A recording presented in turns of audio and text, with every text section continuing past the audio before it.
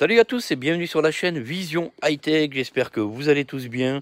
Aujourd'hui je vais vous montrer un petit tuto pour supprimer l'historique de la localisation. Et oui, comme vous savez tous, Apple est toujours en train de nous pister. Et dans cette vidéo, je vais vous montrer comment justement éviter tout cela et se mettre à l'abri de la localisation permanente. J'espère que cette vidéo va vous plaire. N'hésitez pas donc à la partager, à vous abonner à la chaîne Vision High Tech pour continuer à suivre tous ces tutos et démos permanents sur la chaîne. Les nouvelles technologies, c'est sur Vision High Tech. À très vite pour la suite de ce tuto.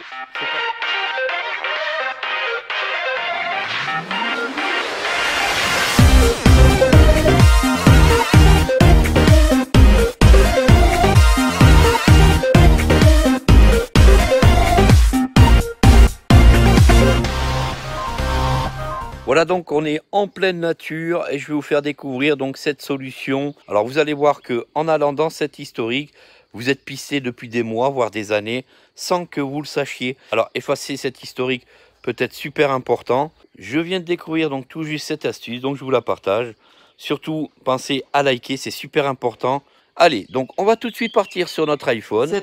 Voilà, vous allez découvrir dans ce tuto comment supprimer l'intégralité de l'historique de tous les lieux fréquents que vous avez fréquentés. Et ça, c'est super important. Et en plus, ça permet d'éviter d'être pisté en permanence. Donc pour cela, on va se diriger sur Réglages.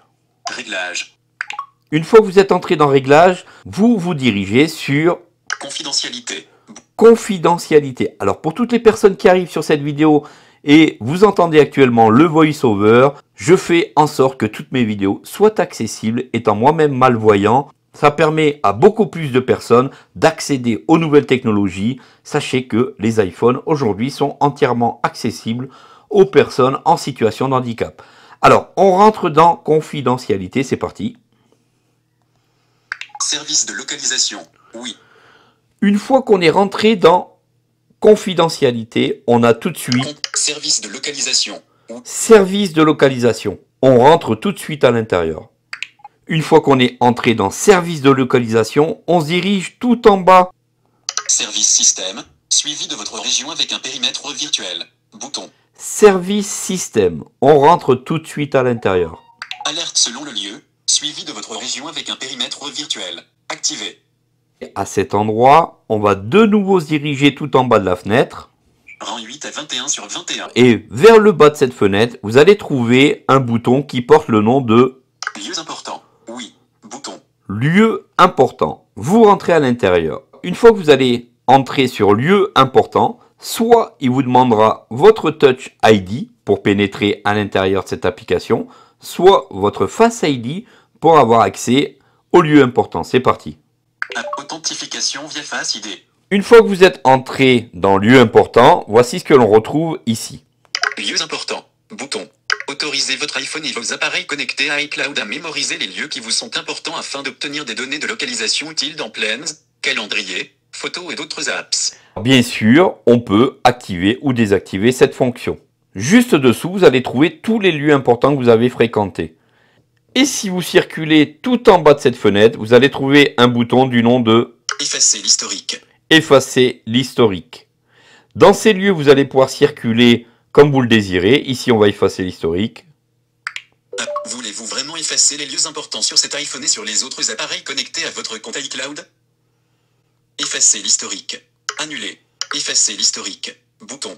Alors nous, on va effacer l'historique. C'est parti.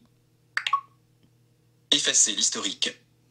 Et une fois que vous avez effacé vos lieux importants, voici ce qui vous reste sur cette fenêtre. Mes lieux. En tête. Aucun. Historique. Aucun. Vous venez de libérer et de vous séparer de vos lieux historiques et de vos lieux et de vos lieux privilégiés, ce qui permet de réinitialiser tout ça. Faites-le assez régulièrement, ça permet aussi d'éviter un pistage permanent d'Apple. Voilà, c'est terminé déjà pour ce petit tuto. J'espère que cette vidéo vous aura plu. N'hésitez pas à montrer ça dans la barre des likes, à partager cette vidéo comme d'habitude. Et on se dit, j'espère, à très vite pour une prochaine vidéo. Merci pour votre soutien et votre abonnement. Et on se dit à bientôt. Et on se dit à très vite pour une prochaine vidéo, unboxing, tuto ou tout autre. À tous et à bientôt. Ciao ciao